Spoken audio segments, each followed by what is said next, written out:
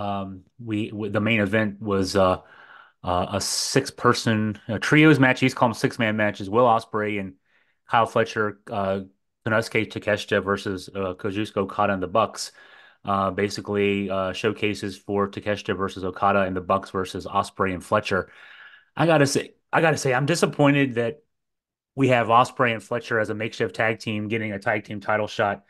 Um, they're both, I mean, fine, uh, great wrestlers, obviously, but Ospreay should be in the singles picture and, and, and that exclusively. I know Fletcher's floating around waiting for his his Aussie Open tag team partner to get back. Um, though perhaps you know he's had so much time as a singles uh, the last six plus months that I don't know if he'll need to go back to tag uh, wrestling when that's all over. Right. The Bucks, the Bucks haven't defended the belts very much in the six months they've had the belts, and you know here we go again. I, I don't. I, when when they rest when when those two tag teams get together, I don't want to see the Bucks lose to a makeshift tag team because then you got two belts on Ospreay, um, which makes no sense.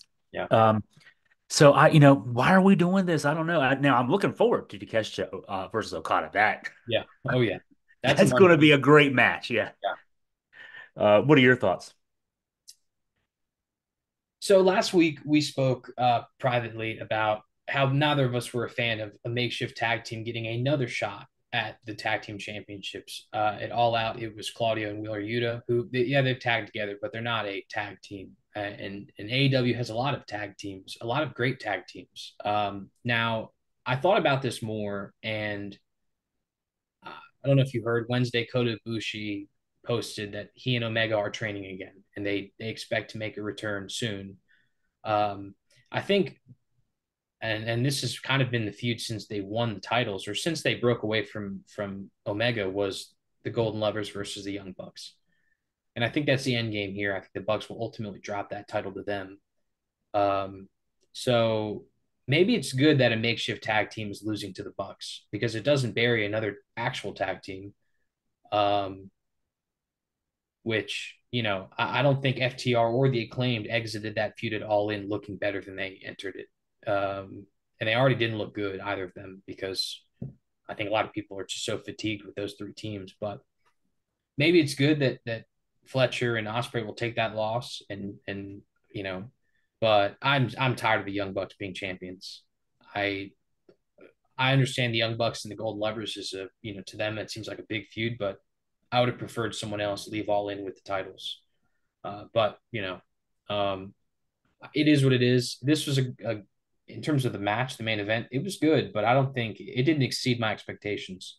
All six of these guys are great wrestlers you know you sort of expect that that benchmark of excellence from them. So I do remember a Golden Lovers Young Bucks match from New Japan that was that aired on one of their U.S. shows way up mm, five six years ago, yeah. um, back when they were still on um, um, AXS TV. Yeah. Uh, and and it went. I mean, it was one of the better tag team matches I've seen, but it was five or six years ago um, when it was, it had to be more, at least maybe six years ago. Now you think about it, because AEW's been around for five years.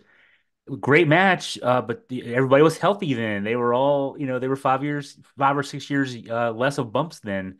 Yeah. Um, and you know, it was good to see that you, you mentioned the the photo online posted by Ibushi of him training with Omega.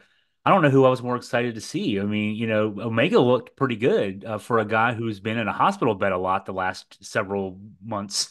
Um, he looked like he was in, in, in pretty good shape. Ibushi still had a shirt on in the picture, which made me fear that yeah, maybe he's not in as good a shape as he needs to be. When he came to AEW, he did not look the same as he looked in his heyday, which wasn't that long ago in New Japan. So, but yeah, if they're if they're anywhere near uh, you know, their condition, their peak condition, um, yeah, I mean, and, and, I don't know how quickly that could be because I'm with you. We need to get those belts off of the Bucks. We need to put them on somebody who will defend them and be a presence every week. Yeah.